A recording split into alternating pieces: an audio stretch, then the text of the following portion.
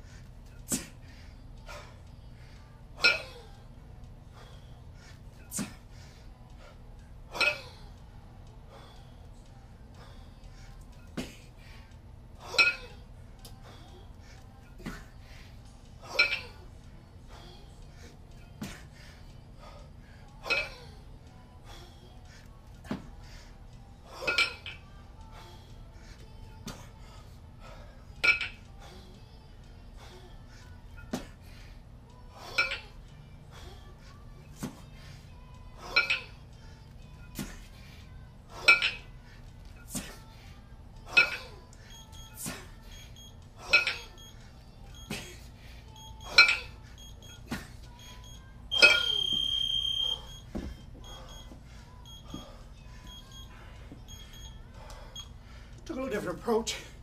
Got a little better than the other day.